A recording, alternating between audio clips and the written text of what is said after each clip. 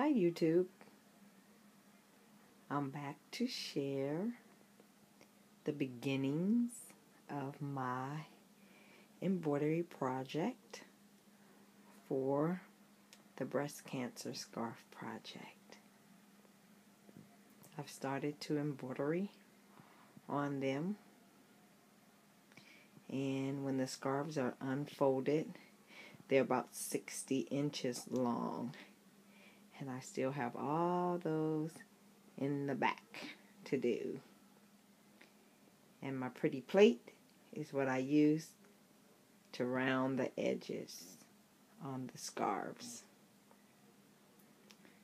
So I'm hoping to get this project done hopefully by this weekend. And today is January 4th.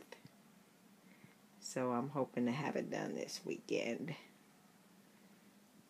and then I'll start on something else. My yarn bag has grown. That bag is full of yarn.